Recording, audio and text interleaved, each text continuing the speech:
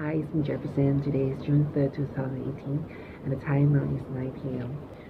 So, uh, after the drastic and emotional um, inspiration last night, um, today I feel a little bit relief, and I gotta spend out, uh, spend my time with my niece, my sister, and Joe, four of us, again, to um, release everything and just uh, chill out the whole day um, we went to the mall and after the mall we went to Penang Hill because um, I feel like um, it's a very great day and great day to uh, go to the top of the hill and enjoy some fresh air and some green and just be a tourist for the day.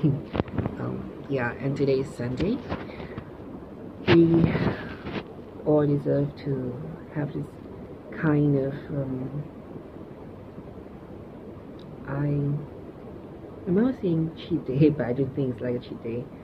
I would say um, let's say you deserve to be happy as long as uh, you are not intruding or taking others' privacy and rights. Um, so for those out there regardless of your races, your religions, your sexual orientations, or whatever country you're from. I just want to say that you are free to be whoever you want to be. You are free to do whatever you want to do. And as long as you are not taking others' rights and privacy, you deserve to be happy. You deserve to live in a free um, live in a free live with freedom. Yeah. You own your freedom. Um, this is a message for uh, closest relatives of me. I I don't know what to say because I'm not really good in expressing my feelings and emotional uh, emotions all the time. But I'm blessed that I'm gifted the talents of feel. I'm able to feel. So maybe I don't really um, express or I don't really show a lot of my feelings most of the time and sometimes maybe um but actually not maybe. I did show a lot of uh, my resting face like i said before which is really ugly and not cheerful like this. Um i just want to say because we all are facing a lot of things. We all facing we all are facing our problems. And maybe sometimes um, I'm acting like a little bit cool and um, very uh, how to say distant.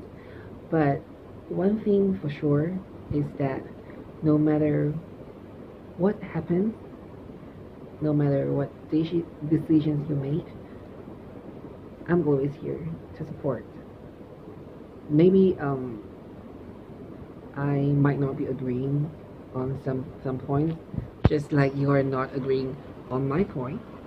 But it's okay. We know at some point we will be able to support each other, and that's what friends and families do to each other. Um, so. really weird. This enemy is so sensitive. Um, I just want to say, um, you know, I'm here to support um, not just my family and relatives, and to all the people out there who feel struggle and who feel less understood or who feel um, unfair and any kind of negative feelings. Just so you know that um, you deserve to be happy and you're born to be responsible for your own life, not others. And if you do not know how to appreciate yourself, um, you do not know how to appreciate others' rights and privacy, then you are not deserved to be a human. Yep. So, mm, I think that's it for tonight. Uh, I don't know what, else to say. Yeah. So, we have to move on. Life still have to be going on. So, good night for now.